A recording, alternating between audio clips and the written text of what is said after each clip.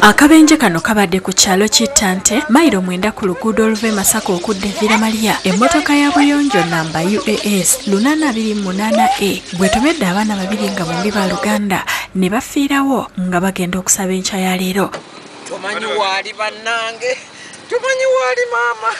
Bannange abasukulu bannange naawe otudde wabi This car was heading to Masaka this morning, and uh, due to recklessness, he rammed into two kids who were going to church.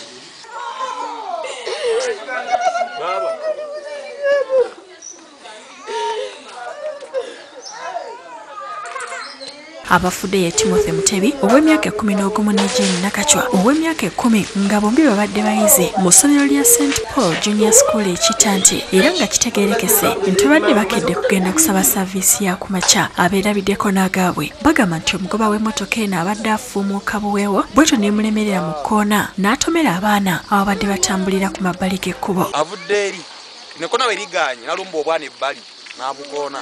Ate yabatedde wali mu maaso natuuka nadde eno bwati gyava yadduka nga dde eno bwati gyava abatuuze bagamba nti dereeva abadde atamidde kuba emmotoka ye esangiddwamu eccupa z'omwenge avunaanyizibwa ku poliisi y'ebidduka e kalungu denis kweyamba ategeezeza nti akabenje kano kavudde ku kuvugisa kimama kyokka nasaba abazadde okuwerekera ku baana baabwe bwe baba nga bagenda kutambulira ku nguudo ennene.